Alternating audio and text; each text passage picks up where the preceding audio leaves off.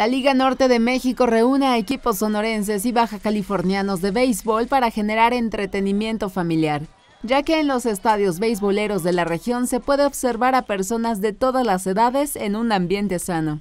Con el objetivo de mantener e impulsar la actitud deportiva en las nuevas generaciones, el Torneo Nacional de Béisbol Ligas Pequeñas Categorías 5-6 años reunió en la capital de Sonora a 54 equipos de niños de distintos puntos del país por lo que el director de la Comisión del Deporte del Estado, Genaro Enríquez, destacó la participación de los padres de familia para que desde pequeños impulsen a sus hijos a practicar deportes y actividad física. Adultos, jóvenes y niños atraídos por el béisbol esperan en el futuro seguir haciendo de esta actividad deportiva y entretenimiento físico el motivo para generar más historias de hermandad.